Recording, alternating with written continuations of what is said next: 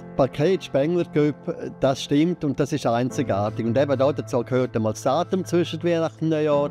Dazu gehört aber auch der Ort Davos, wo Gott sei Dank wenigstens auch heute noch meistens eingeschneit ist. Das gibt schon eine ganz spezielle Stimmung. Und dann ist natürlich das Hockey ist auch heute noch ist wirklich sehr gutes Hockey. Aber das Hockey hat sogar noch einen Vorteil. Es geht da nicht um ganz so viel wie in einer Meisterschaft oder so. Und darum haben Spieler ein bisschen mehr taktische Freiheiten. Und das könnte natürlich gerade die exzellenten Techniker ausnutzen. Und das macht dann die Spengler Cup Spiel besonders attraktiv. Pre-Game, der offizielle Spengler Cup Podcast, präsentiert von UBS mit Moderator Jan Billeter.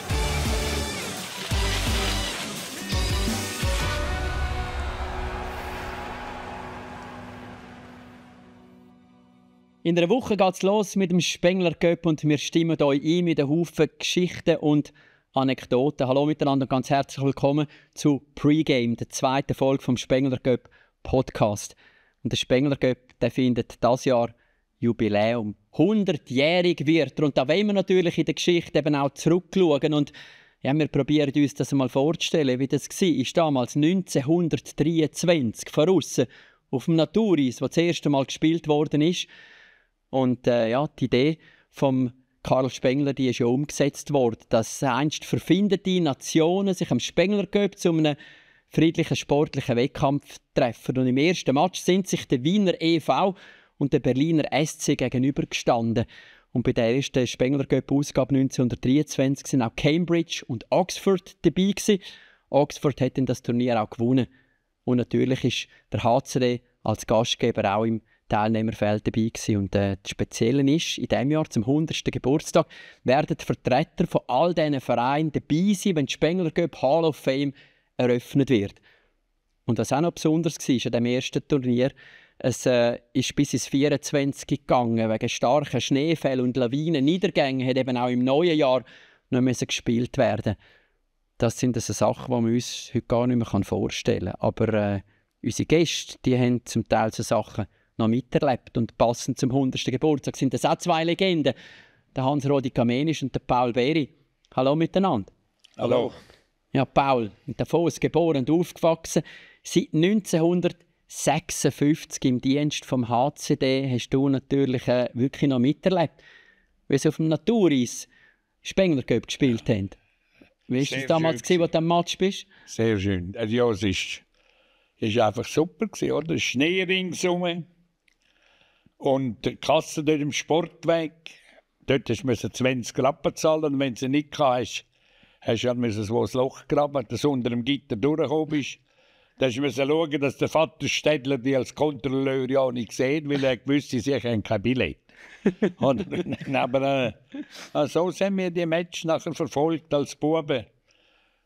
Und äh, das weißt du vielleicht, Billy, auch noch, weißt du, wo, wo noch Goal angeschrieben worden sind auf der Seite vom alten Eisstadion, wo leider abbrennt ist.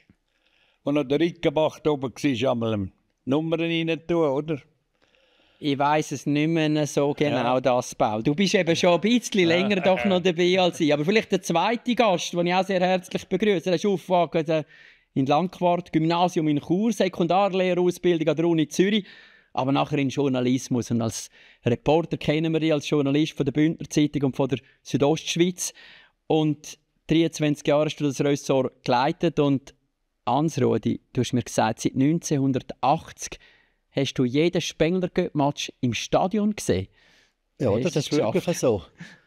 Dort mal 1980, als ich den ersten Spengler machen durfte, da haben wir noch in der Zeitung über jeden Match einen Matchbericht drin und dann ist es ja logisch, gewesen, dass man jeder geschaut hat. Gut, nachher hat sich das geändert, auch in der Zeitung jetzt mit digital und allem. Jetzt macht man mehr Hintergrundgeschichten, aber äh, ich sehe auch jetzt noch gerne jeden Match im, Spiel, im Stadion selber. Und ihr habt einen Haufen erlebt und ich freue mich auf eure Geschichten. Die kann man hören bei uns im Podcast oder auch schauen auf YouTube. Da sieht man auch die wunderbare Spengler Cup-Trophäe, die da bei uns im Studio steht. Das ist 1980, wo du als Sportjournalist darüber berichtet hast. Was ist denn aber die erste Erinnerung von dir an Spengler Cup? Also ich bin jetzt Landquart aufgewachsen und dann mit Autostopp einmal mit dem Bruder und Kollegen auf der Foss am Match. Aber das erste, was mich richtig neu, wirklich gut kann erinnern, das war 1973. Slovan Bratislava hat da gewonnen. Und der grosse Star bei Slowan war der Watschlaf nicht am Anski. Der hat einmal den Böck vielmal einhändig geführt und jetzt überspitzt formuliert, hat die Mannschaft fast allein zum Sieg geschossen. Das hat es früher wirklich noch gegeben, so absolute Ausnahmekönner, die einfach viel, viel besser sind als die anderen. Paul, das hast du auch irgendwie Na, von Anfang an erlebt, gell? Die, die Superspieler früher. Ich meine, du hast der Bibi Toriani, der Picattini, der Niesturm ja. überhaupt, die hast du noch spielen gesehen? Spielen gesehen, ja. Das das war noch das Hockey von damals. Das kannst du mit heute natürlich nicht mehr vergleichen. Weil beim Bibi war es so, wenn du äh, Training hast und einer ein bisschen ja, mit Körperbeton gespielt hast, hat er dich rausgeschickt. Oder beim ah, Bibi hast du müssen... Das ist nicht checken? Hügeln, nein, nein, nein, nein, nein. Und lass mich raten, das ist aber das, was du gut hast können, also ja, checken. Ja, ja, ja, ja, schon. das muss ich dir jetzt gleich mal fragen, Paul. Du bist ja eine Legende beim HCD obwohl du ja nie äh, als Schweizer Meister geworden bist oder einen Spengler Cup gewonnen hast. Aber hast du gespielt? Ja, aber nicht lang. Ich habe ein bisschen eine Sau gekauft, die gestreifte da, weiß, schwarz. die sind mir immer ein bisschen im Weg auf dem Eis. Und, äh, das ist leider eben so. Also sind sie im Weg oder hast du aber nicht recht? Ja, ich weiß, man kann ja, es anschauen, wie man es will, aber äh, ich würde sagen, wir sind im Weg und Sie werden sagen, ich hätte nicht recht tun. Und dann hast du aufgehört? Also aufgehört. wie alt bist du, als du aufgehört hast? Ja, bei 18. Ja. Nachher ist, haben wir unseren lieben Tauni Gerst oben. Er hat noch das Material von der Nazi auch. Mhm.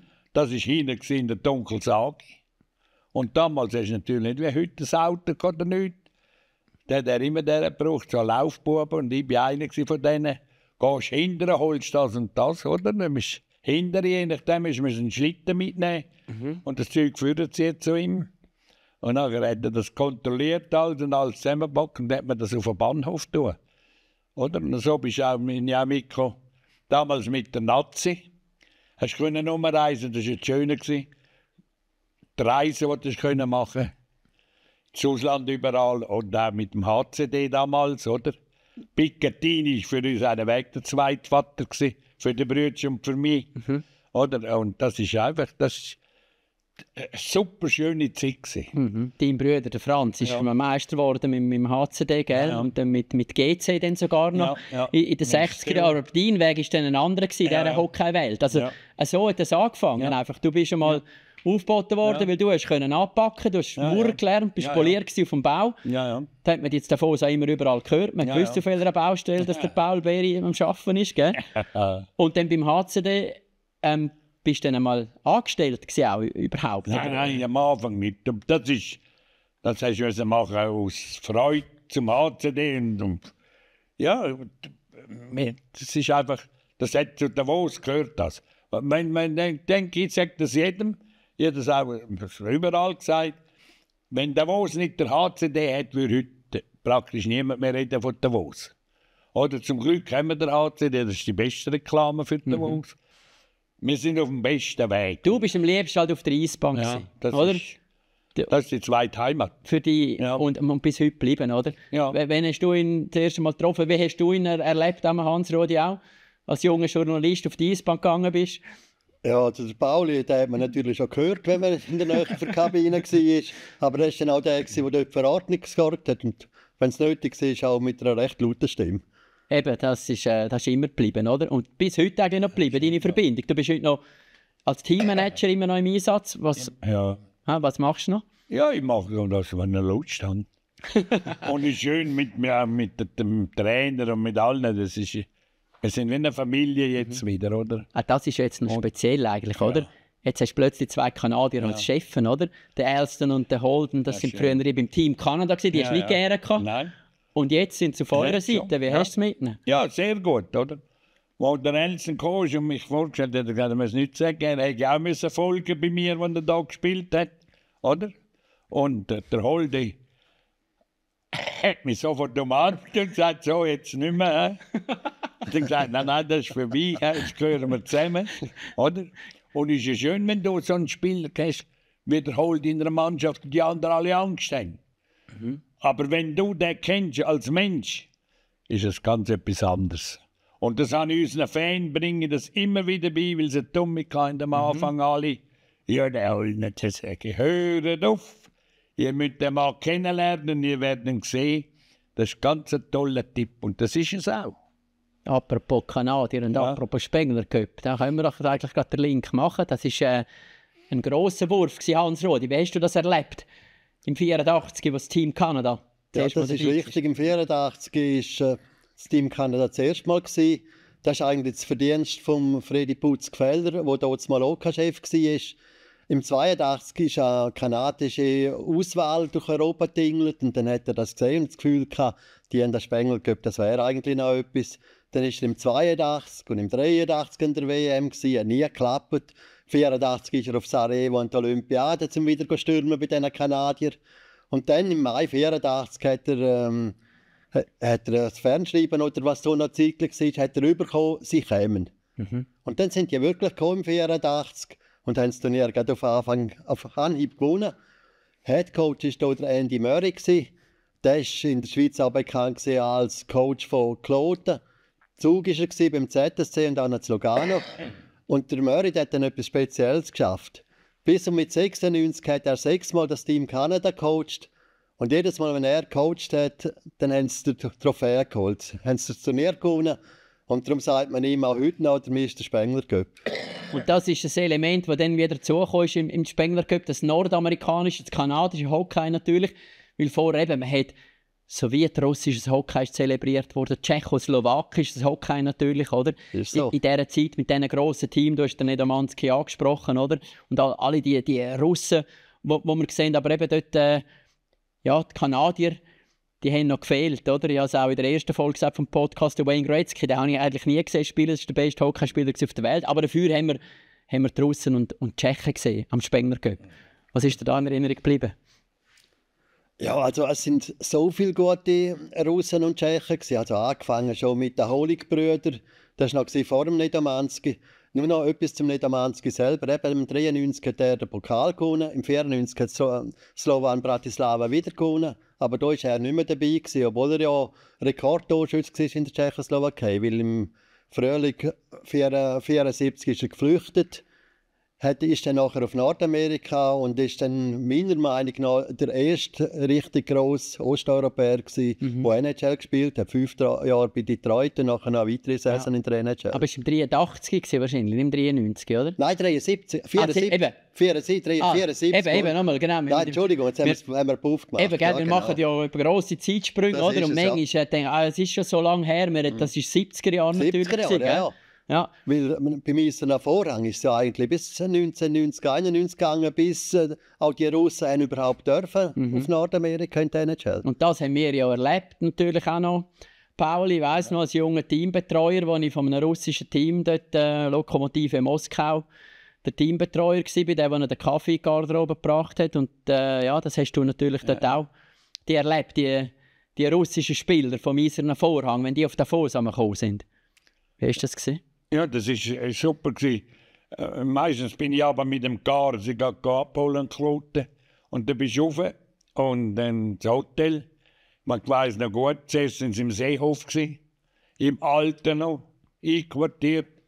Dann denke ich, das kann ja auch nicht gut sein, dort in dieser alten Hütte. Die haben zum Beispiel noch in den Zimmern drin jetzt äh, Kübel gehabt, also Steinfelsgelten, weil das Dach getropft hat. Oder aber die sind dort drinnen und dann habe ich gedacht, ja, jetzt werden jetzt Nacht, da kannst du dir vorstellen, jetzt geheißen nichts ist, wieder in die Garde, in den Schlittschuhstock, ist man auf die Eisbahn gerade gut trainieren. Du hast zum Beispiel den Tikhonov als Trainer natürlich Ja. erlebt, der damals vielleicht der weltbeste Trainer war mit der Sowjetunion. Ja. UdSSR einen Erfolg nach dem anderen gefeiert hat. Den hast du am Spengler getroffen. Super Mann gewesen. Reden hast du nicht, hast nicht viel können mit ihm, du hast nicht gewusst, versteht er Deutsch oder nicht, weißt Aber äh, wir haben dann ein Zeichen abgemacht. Wenn sie gut gespielt haben, hat man dürfen, wenn ich dreimal klopft, dann hat er die Öffnung gemacht. Nach dem Schleiflung, wo die Kabine war von ihnen. Und dann dürfen zwei Cajo Bier ihnen übergeben für die Spieler. Und die haben das noch geschätzt, oder? Ja, ja, das war für die riesige Ja. Belohnung, gewesen, weil das war glaube wirklich noch die Zeit, gewesen, wo wir uns verloren haben, sie wirklich ohne die Nacht ins Und Bett dann- müssen, oder? sind doch die Walkmen dort so aufgekommen. Aha. Und dann bin ich dann rausgekommen, was wenn, und dann haben sie genommen und bin mitten noch zum Franz Geromini, auch ein alter Ah, das Hockeyaner. Radio-Fernsehgeschäft, ja. Ja, das Fernsehgeschäft. Und der hat dann denen die gegeben, ja, was ist das Trinkgeld? Oder Ah. auch Mitleid gehabt mit denen. Das kann man sich heute eben gar nicht mehr Nein. vorstellen, oder? Wenn man Nein, auch sieht, was da für Salär gezahlt werden im russischen Hockey, was passiert Ja. ist. Aber Hans-Rodi, hast du auch miterlebt, ja? Früher war das wirklich so, gewesen, dass, dass die Bösen fast in zwei Kolonnen haben müssen vom Mhm. Hotel ins Stadion um, zum Training oder zu dem Match und nachher gleich wieder heim. Da hat es dann einmal Spieler gehabt, die sind nach dem Match blitzartig vor dem Stadion gestanden. Teile haben geraucht, die da gestaunt. Und ich weiß auch gerne ob die überhaupt Zeit hatten zum Duschen. Aber die haben dann nachher gemerkt, ein Teil von denen haben Kaviar im Sack gehabt. Und dann haben sie natürlich verkaufen, dass sie wenigstens ein paar Schweizer Franken hatten, dass sie noch etwas haben können posten. Eben, wir reden da von ein paar von den besten Hockeyspielern, die es geht zu dieser Zeit, oder? Das ist. Die dort so unterwegs sind. Ich mag mich noch erinnern, dort als Teambetreuer hat es einem den Schuhbändel geklebt und die haben kein Ersatzschuhbändel dabei gehabt. Und ich habe natürlich gewusst, wo es die Schuhbändel gibt, nämlich beim Paul Beer im Materialraum. Bin ich rübergekommen zu dir, ich war der Teenager, gewesen, da habe ich also Grüezi gesagt, «Hoi Pauli» hätte ich mir dort nie getraut zu sagen. Und habe gefragt, ob du nicht Schuhbändel hättest für einen russischen Spieler.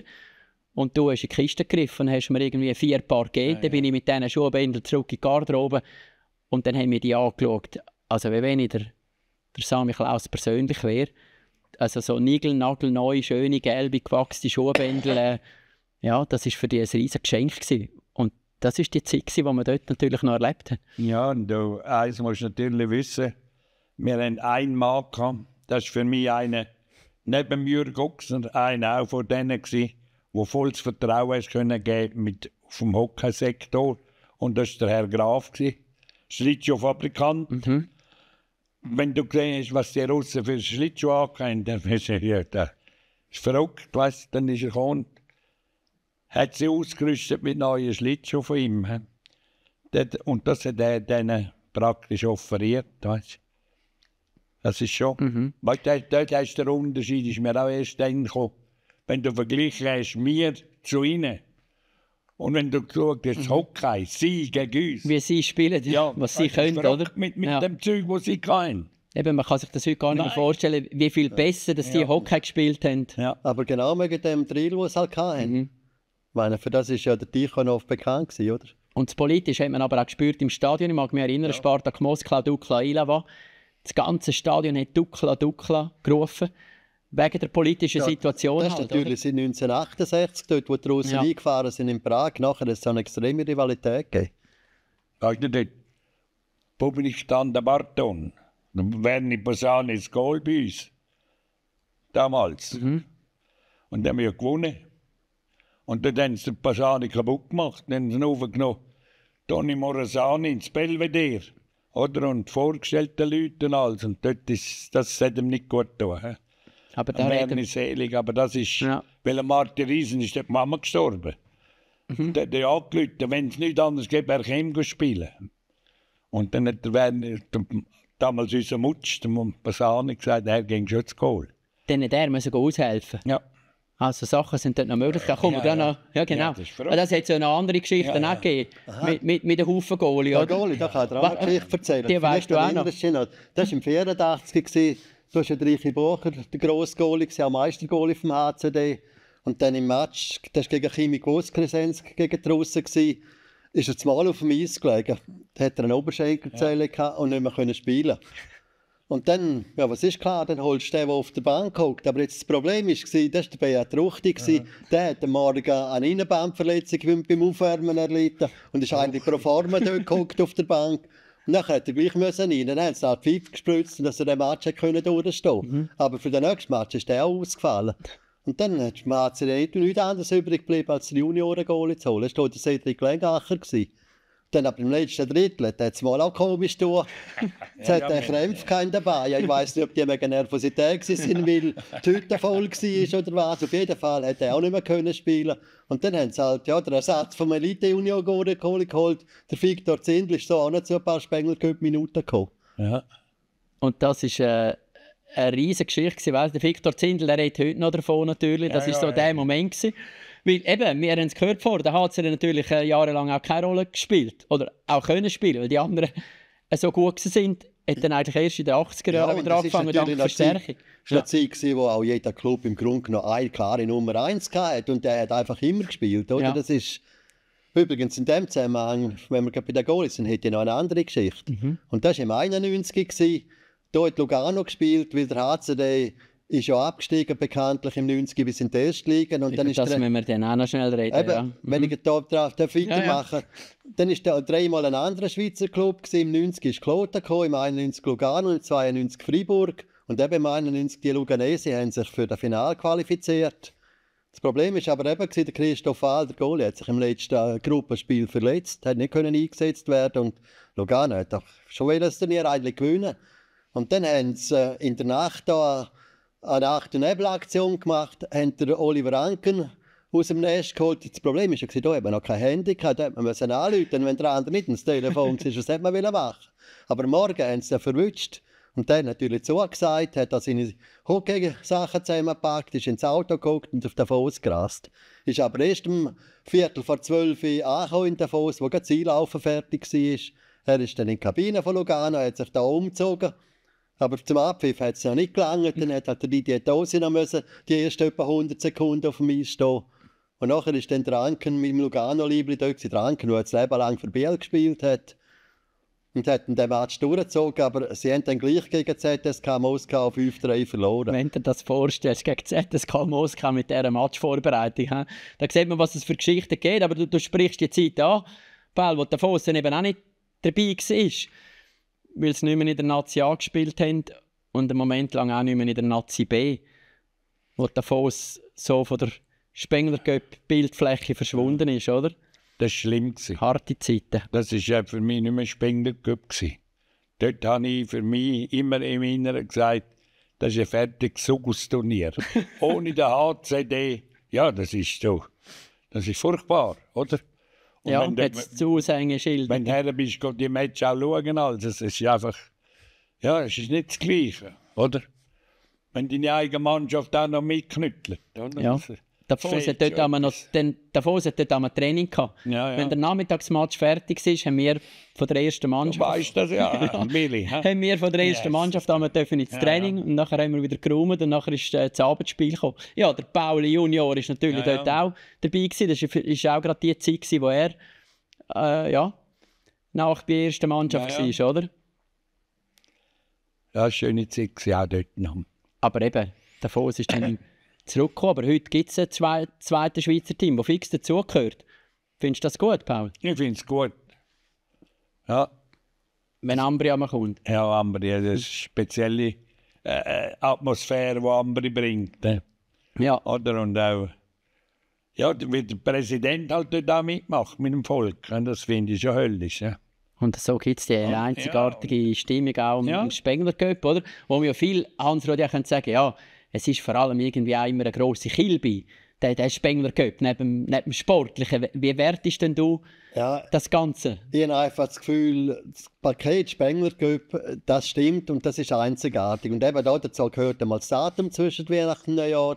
Da dazu gehört aber auch der Ort Davos, wo Gott sei Dank wenigstens auch heute noch meistens eingeschneit ist. Das gibt dann schon ganz eine spezielle Stimmung. Und dann ist natürlich, das Hockey ist auch heute noch, ist wirklich sehr gutes Hockey. Aber das Hockey hat sogar noch einen Vorteil. Es geht da nicht um ganz so viel wie in einer Meisterschaft oder so. Und darum haben die Spieler ein bisschen mehr taktische Freiheit. Und das könnten natürlich gerade die exzellenten Techniker ausnutzen. Und das macht dann die Spengler Cup Spiel besonders attraktiv. Aber für die Fans, die kommen, ist eben, die Matches sind das eine, dann aber auch das Ganze drumherum. Und das geht dann ein bisschen richtig Kilby. Und das gibt dann am- Ganzen ein richtiges Hockey-Fest. Das ist dann nicht, nicht nur der Match, sondern eben auch das Ganze drum und dran. Wenn ich einmal jemanden ins Fanzelt hineinschaue, ja, da geht ja Post ab. Da, da, da hocken sie, um, hocken sie nicht auf der Bank, da stehen sie auf dem Tisch. Aber es ist, äh, ist einmal gerade schon angeschlagen an der Säure, wie viel das man zahlen wenn ein Tisch kaputt geht oder eine Bank. Aber, aber eben das gehört dazu, dass es eben auch ein Fest ist, Paul, oder? Dass die Leute kommen Das ist- und, ist und eine gute Zeit haben Ja. in Davos, Ja. nicht nur im Stadion, rund um das Stadion. Und du, wo du ja dann auch immer auf der Eisbahn bist, ich meine, du erlebst die Tage im Jahr wo es halt wirklich sehr ruhig ist in der Zwischensaison. Und dann aber auch dann, wenn du richtig Kilby ist, oder? Ja, es, ist, es braucht beides. He? Aber äh, was ich halt verrückt finde, ist, wenn du schaust, so ähm, Spengler Cup, wenn die Gäre kommen und die so bei halb besoffen aussteigen vom Gär und über den Gewackel in das Fanzelt und dort hocken, bis Schluss ist. Ich weiß nicht, für alle Leute ist es halt auch nicht, oder? Weil wirklich der Fan, den wir haben vom H, der will Hockey sehen. Der will den Match sehen, Ja. oder? Ja. Aber weißt du, ich glaube, er will auch das ganze Paket. Und du hast schon recht, da jetzt der nicht mehr viel mit überkommen, wenn sie davon aus ankommen. Aber ähm, eben, es geht ja einfach äh, um das Ereignis. Es, eben, es geht nicht nur um das Hockey. Klar, das Hockey steht im Mittelpunkt und das macht der HCD auch super. Er schaut jedes Jahr, um möglichst gute, prominente Mannschaften zu kriegen. Aber eben, für den Fan ist es dann nicht nur der Match, es ist der ganze Tag, wo er dort ist. Und die, die halt schon zu Ja. sind, wenn sie raufkommen, die sind selber die schuld. Ja, das ist ja auch, der Spengler hat etwas ausverkauft. Du musst auch zuerst ins Stadion reinkommen. Die Billets sind natürlich begehrt und, und es ist das Hockey, das immer an erster Stelle steht, weil Ja. sonst würde es andere definitiv auch nicht geben, oder? Es hat übrigens, ich weiß jetzt nicht mehr in welchem Jahr, aber ich glaube ein oder zweimal sie in Grindelwald während dem Weihnachtenjahr auch probiert, ein internationales Turnier zu machen und haben sehr, sehr gute Mannschaften, vor allem aus Skandinavien gehabt. Aber das haben sie wieder aufgegeben, einfach weil beim Spengler wie ich gesagt habe, passt das Paket. Eben, dass alles zusammenpasst, das ist Tradition, es braucht auch der HCD. Das hat ja der Pauli gesagt, man hat es gemerkt, wo der HCD selber nicht gespielt hat. Und darum, das ist einzigartig auf der Welt. Und so ist das natürlich auch historisch gewachsen mit dem Ursprung 1923, mit dieser ganzen Entwicklung der Hockeygeschichte, die wir können erleben können.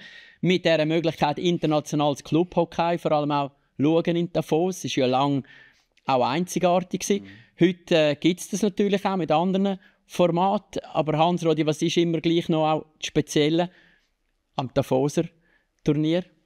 Ja, eben, wie ich es schon gesagt habe, das Team Kanada, das sieht man nur dort. Und gerade auch im Zusammenhang mit den Kanadiern, ein riesen Glück für den Spengler Cup ist natürlich, sind einmal immer die Lockout-Saisons gewesen, weil da haben wir natürlich absolute Superstars in Davos gehabt aus der NHL, wo sie es nie aufgekommen wären. Ja, denke, ja, wenn wir nochmal zurückdenken, 2004, hä, wo der Spengler Cup äh, mal war mit Thornton, Nash und Hagmann, die dort beim HCD sind, gell? Ja, das war natürlich eine Wahnsinnssaison. Wobei, was man dort noch mal sagen im 2-0-4, das Team Kanada ist ohne Lockout-Spieler gekommen, weil dort hat der Verband entschieden, die wollen wir nicht. Das war noch schade im Nachhinein. Aber das hat sich dann geändert. Die sind dann für alle 2011 gekommen. Aber nochmal zurück zum 204. Es hat auch hier etwa 20 Lockout-Spieler gehabt. Wenn ich denke an den Goalie, der äh, Nabokov, der Evgeni, der hat bei Metallurg Magrita Gors gespielt. Der Thomas Wokaun bei IFK Helsinki. Und der Ebischer wäre eigentlich bei Prag gewesen, aber der ist dann ausgestochen worden vom Thomas Pöpperle, einem 20-jährigen Prager Junior. Ja. Aber was natürlich viel wichtiger ist, auch für den HCD, der HCD hat das Turnier dort gewonnen. Und beim HCD übrigens hat neben diesen Lockout-Spielern da eben Sonntag, Nash und Hagmann, hat, hat noch der, äh, äh, Der Martin Saint-Louis Martin. Saint-Louis hat dort gespielt. Der hat die Saison vorher bei Tampa. Hat, äh, mit Tampa hat er den Stanley Cup gewonnen und ist MVP gewesen, und zwar sowohl für Regular Season als nachher auch in den Playoffs. Aber im Final, Ja, ja. gell? Verrückt. Aber im Finale da ist der HCD gegen Sparta Prag, gewesen, wo eben auch Haufen Lockout-Spieler hatte. Und der HCD hat das Finale mit 2-0 gewonnen. Ich weiß, das ist, ich glaube, etwa nach acht Minuten gewesen, hat er mit Riesen das 1-0 geschossen. Und der Pass hat er vom Rick Nash bekommen. Und der Nash hat den Pass nicht einfach ganz gewöhnlich gespielt, sondern sich selber zwischen den Schlittschuhen durch. Han- Da merkt man die Freude, Hans-Rodi. Du musst nichts ablesen, du musst nichts abschauen. Für alle, die dich nicht sehen, das ist gespeichert in, in deinem Kopf. Das Ja, sind aber- äh, aber eben, das ist ja die Er- Ver- Erlebnisse, die ja, wo das Leben lang mitnimmst. Das ist ja? die Faszination Spengler Cup. Eben äh, zum 2-0-4, dort war der Marc Gianola zuerst mal Captain beim HCD und vor allem es ist noch ein anderer Stern aufgegangen. Beim HCD ist der Jonas Hiller, ich glaube dort etwa 22, gewesen, ist der Goalie gewesen. und eben meine, am Spengler Cup Final mit einem Shutout im Goal stehen und 22-Jähriger nicht, nicht mehr nichts. Ja, das kannst du im Meine, Palmares auch gut. Was äh, nachher passiert ist mit dem Jonas, das wissen wir, ja, mit dem Hiller. absolut seine riesen Karriere, die er ja, in der NHL ist natürlich auch einen sehr guten Goalie-Trainer gehabt. Dürfen wir nicht vergessen. Und das ist Monsieur Marcel. Ja? Der Appenzeller. Ja, Ja, Der betrifft alle, die ich bis jetzt erlebt habe als Goalie-Trainer. schon. ja, meine, es war ja nicht nur der Heli bei ihm. Gewesen.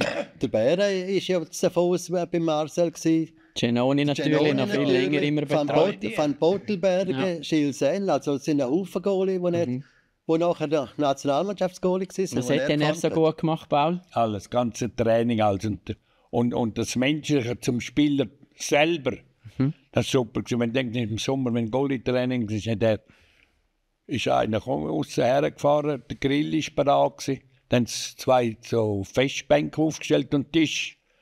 Und dann da einer zu grillieren und nachher in in den Duschen sind die Goalie gekommen und der Marcel sind hergeguckt, haben die jetzt nachgegessen miteinander. Und das ist eben, das gibt der Halt. Auf dem Eis knallharte Arbeit und nachher der Dank ein gutes Nachtessen. Und für die Jungen ist es natürlich ja, Fam wie eine Familie. Das ist ein super Bild immer für mich, wenn ich das gesehen habe. Das ist immer das Beste, wenn es menschlich eben auch passt.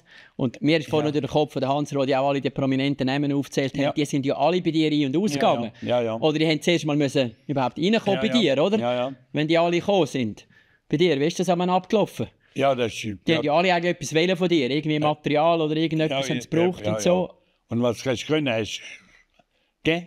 Ja. Oder? Und äh, ja, das Aber andere zuerst hast ja du in deiner Sprache gesagt, wahrscheinlich die Bursten einmal noch schnell ein bisschen angeschaut. angeschaut und dran genommen, oder? Wie ist das abgelaufen? Ja. Aber sie haben, du weißt, sie haben immer noch einen von unseren da Betreuer dabei gehabt, Mhm. der zu dieser Mannschaft gehört hat. Und der hätte müssen zu mir kommen, wenn sie etwas wollen. Ah, eben, Das sie haben ja direkt nicht, haben sie noch nicht dürfen zu dir ich ja kommen. nicht gewusst, ist das kompetenter Spieler oder Ja. nicht. Ne? Aber eben, wenn es TCD-Spieler waren, das sind sowieso alles Buben von Pauli. Ah, eben, die habe ich jetzt auch gemeint, oder? Ja, Aber ja, der Sohn ja. und der Sohn und der Nash, Ja, die ja, gekommen ja. sind und der und Den schon den. habe ich empfangen, als sie das erste Mal auf Davos gekommen sind, und Davos anschauen. Mhm. Hat der Arne gesagt, du musst dann um 12 Uhr dort sein auf der Eisberg, kommen ein bisschen später der Arne. Ich bin dort, gewesen. Wer kommen zwei? Einer so gross und der andere auch ein bisschen kräftig. Haben sich da vorgestellt und ich natürlich sofort da mein Englische führen geholt. ja, du, das schon hat, es hat schon dort hat's bei uns zusammengestimmt. Da ist dann der Arno gekommen, ein Halli, hallo, und dann haben wir dann alles gezeigt und so. Und dann siehe da, ja, will später steht die bei mir in der Kabine. Natürlich super gewesen, weißt mag mich übrigens erinnern, an den ersten Tag, als sie raufgekommen sind. Ja. Da eben zwei so baumlange Sächen, der Sand ein dünner, der, der nächste ein bisschen breiter, aber beide in Badelatschen und Shorts. sind sie dort gestanden im Sommer. Ja. Ah, das ist ja, das ist ja, das ist eine tolle Sache. Und die sind ja dann nochmal gekommen. Du hast den zweiten Lockout angesprochen und dort sind dann eben auch Kanadier mit dem, mit dem vollen Paket gekommen. Das ist, ich weiß nicht, Hans Rodi, du kannst das sicher beurteilen, ist das der bestbesetzte Spengler Cup von allen Zeiten gewesen? Also mindestens was das Team Kanada anbetrifft. Also der Captain war dort der Ryan Smith, gewesen, aber da sind noch Leute dabei, gewesen, wie der, der Bergeron, der, ähm, ja, jetzt muss ich gerade gewinnen das sind über, eben Jason Spezza, John Tavares, Matt Duchesne, Tyler Seguin. Was noch verrückt ist, die haben 13, 13 Spieler sind gekommen, direkt von Kanada. Und die 13 Spieler haben nie gespielt während dieser Saison, also bei einem anderen Club oder so. Und die 13 Spieler haben dort mal haben sie die zusammen auf 4736 NHL-Spiele gebracht. Und das sind eben auch Junge dabei, gewesen, auch wieder Segin. ja. Und, der und Kane da ist schon noch, so- der ist ja, aber dann beim aber der HCD Kane ist beim HCD Der. Kane ist beim HCD gewesen? Und, und der Kane übrigens, der hat im Halbfinale 22 Sekunden vor Schluss gegen Vit- Vitkovic hat er 5 geschossen, damit der HCD überhaupt in der Finale gekommen ist. Ja. Dann im Finale selber, dort hat dann, haben sie einen, die Starren halt schon gezeigt, was könnte im Team Kanada. Haben 7-2 gewonnen. Und ich weiß ja nachher noch mit dem Captain geredet, mit dem Ryan Smith, und der hat mir dann gesagt, ja, er sei ja viel mit Kanada unterwegs gewesen. Er war auch Weltmeister gewesen, hat äh, den Kanada Cup gewonnen, hat, äh, hat der ähm, Olympiasieger ist er gewesen. Genau, der Einfach was er, nicht, 02, ja. was er nicht war, ist, er hat nie den Stanley Cup geschafft, aber eben, der hat mir nach dem Match gesagt, eben, er hat viel gewonnen mit Kanada, aber dass er jetzt noch den Spengler Cup gewinnt, das ist für ihn schon etwas Spezielles. Und jetzt kommt der Joe Thornton auf Davos. Ha? Wie man hört, in einer Woche, wenn es losgeht, wieder mit, dem- mit dem Team Kanada, ist er wieder da. Ja, ja. Siehst du ihn einmal im Sommer, wenn er kommt? Ja, ja, der kommt er zu uns trainieren. Ja, da kommt er einmal Hallo sagen. ja. Und Ja. die Ware, die er schickt, schickt er immer auf meinen Namen. Ah ja, Ja, ja. Dann tue ich mit DB, mit der Frau vom Joe. ja. Das klappt alles. Auto, alles ist da immer. Nein, es ist schon super. Du hast unglaublich viele Spieler gesehen und Ja. unglaublich viel Verbindung. He? Ist der Spengler Cup auch die Zeit, wo die Leute quasi auch kommen, klopfen und Heu sagen? Ist Ja, auch das es hat viel, ja, ja. Ja. Mal, das ist natürlich schon schön. auch die ehemaligen? Die ehemaligen, ja. Mhm. Und schön ist auch, wenn er so Moment, vor zwei, drei Jahren ist der Ron Wilson da gewesen, noch mit der Frau. Ja, Und, guck, und du hast extra auf die Eisbach und mir noch Heu sagen. Ich finde das höllisch, weißt das ist eben so, Paul, die ehemaligen vergessen Ja, das nicht. Und wir haben letzte Woche haben wir einen ehemaligen da gehabt. Ja.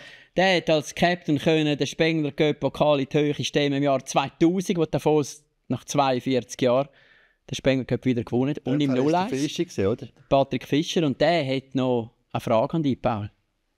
Ja, äh, Paul, ich meine, wir haben, ich habe es mal nicht erlebt, dass der Arno äh, hat eine Diskussion gehabt mit dem Reto Bertolotti bei uns noch in der alten Garderobe. Und, äh, was hast du schon wieder äh, zu ihm gesagt, zum Bertolotti nachher?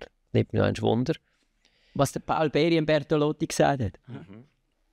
Ja, ich habe dort äh, ich bin im Gang gestanden, ich wusste, es war ein bisschen eine nervöse Sache. Gewesen. Oder und sehr laut dort in der Schiedsrichterkabine. Und ich natürlich gewartet und denke, wenn da irgendetwas ist, ich muss unseren Trainer beschützen. Und dann geht die Tür auf und der andere kommt raus und der sagt, das Hure A soll verschwinden. Und wenn ich bin, habe ich einen, Schnapp hinter, hinter der Tür und an der Bertolotti halt da. Ein bisschen am Kragen verwünscht und dann noch ein bisschen hergezogen, aber ich habe keine geschmiert. Dann Da sind wir aber froh drum. Und nachher bin ich auch gegangen. Und nach dem Match hat es dann geklopft und dann mit Spielern gerufen, du da draußen zu Mensch sucht. Und dann bin ich raus und gesagt, der will sich entschuldigen. Ich sage, der muss mich nicht entschuldigen. Ich habe keine Zeit für den jetzt. Was? Er hat sich bei dir Ja, entschuldigen. der Bertolotti Ja. hat sich bei mir entschuldigen eben für das. Ich, nein, das machen wir ein anderes Mal.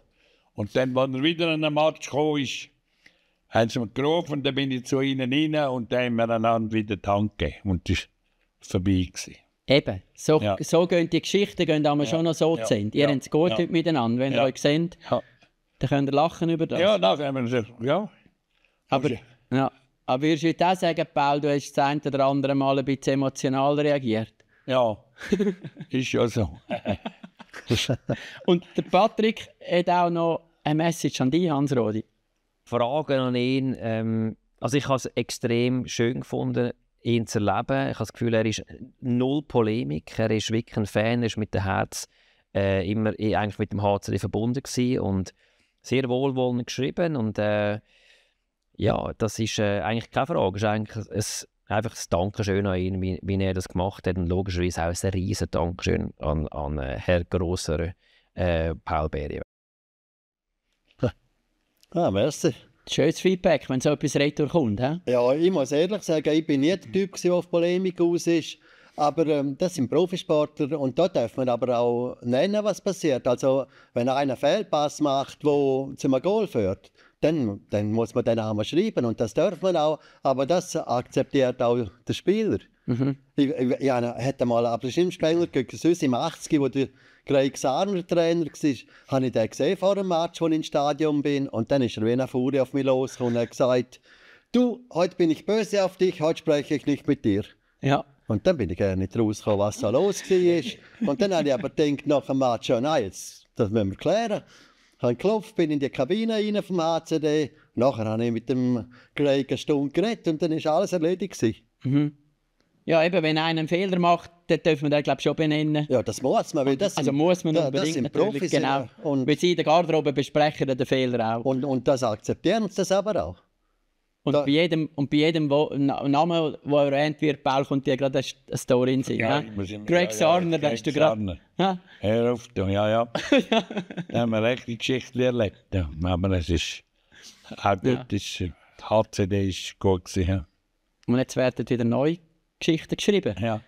Das nächste Turnier, der 100. Geburtstag auch vom, vom HCD. Was wünschst du am HCD auf den 100. Spengler Cup? Oder was wünschst du am Spengler zum 100. Geburtstag? Ja, dass Davos will gewinnen. Ja. Das wäre für mich das Größte. Wieder. Jetzt ist ja eine lange Zeitspanne, wo wir halt nicht gewonnen haben, mhm. oder? Aber wäre schön. Wir haben ja jetzt in unseren Kabinengängen haben sie neue Bilder aufgehängt und gemacht. und siehst du dort, wäre schön wieder einmal der HCD. Ja, ja. Hans-Rodi? Ja, natürlich wäre das das Lässigste, wenn der HCD würde gewinnen und dann wieder könnte zum Team Kanada aufschließen mit dem 16. Turniersieg. Aber ähm, es ist möglich, aber es wird hart. Darum, ich freue mich zum Beispiel auf Pardubice, die führen im Moment die mhm. tschechische Meisterschaft hoch aus an. Oder, oder dann auch Frölunda, wo der Spengler kommt. Einfach sind wir mal ja, wieder andere Mannschaften, andere Gesichter und folglich auch andere Stars gesehen. Das gibt es darum ganz bestimmt wieder ein Hockeyfest. Und bist du dort und schreibst und verfolgst es oder bist du privat im Stadion? Wie ist das jetzt heute bei dir? Also ich bin ja pensioniert, ja. aber bin natürlich immer noch verbunden mit dem Hockey und das ist mir auch wichtig. Also an dem Spengler Cup, wie schon an der letzten, mache ich für die Spengler Cup Homepage von jedem Match wieder mhm. ein Bericht, bin ich folglich sowieso dabei. Wenn der HCD spielt, mache ich für die HCD Homepage noch einen ausführlicheren Bericht und jeden Morgen noch eine Tagesvorschau. Und in einer Woche ist es soweit. HC Ambri Piotta gegen HC Dynamo Pardubice. Startspiel, wo wir uns äh, schon alle so darauf freuen. Und ich freue mich auch noch auf das 26. weil dann gibt es die dritte Folge, die nächste von unserem Podcast, mit einem ganz speziellen Gast. Und an der dürfen ihr zwei jetzt noch eine Frage weiterstellen. Es ist der Arno Del Curto. Paul, mit dem hast du auch einen Haufen erlebt. Wo wird Gast sein? Ja, Was willst du Arno fragen? Ich möchte gerne den Arno fragen, wie er es hat mit seinem Hotel in der Rose. Hans-Rudi. Also ich bleibe beim Hockeytechnischen. Der Arno hat ja beim ACD immer einen Kern von Schweizer Spielern plus der Joe Mara, der wirklich verhebt hat. Aber das Verrückteste, was der Arno geschafft hat, war wirklich der ähm, Joe Sand und der Rick Nash auf den Fuß zu holen. Und das soll er doch einmal erzählen, wie er das überhaupt geschafft hat, das Kunststück. Auf diese Geschichte freue ich mich also auch. Danke vielmals, sind ihr heute da gewesen. Paul Beri und Hans-Rodi Gamenisch. Danke vielmals für das Zuhören. Der Podcast, alle Folgen findet ihr überall dort, wo es Podcast gibt. Pre-Game heisst er, aber ihr könnt ihn auch schauen auf YouTube und es lohnt sich, reinzuschauen, damit wir Gäste auch voll in Aktion sehen, die so leidenschaftlich über das Hockey berichten. Denn jeden Tag ab dem 26. Bis bald, macht's gut. Pre-Game, der offizielle Spengler Cup Podcast, präsentiert von UBS mit Moderator Jan Billeter.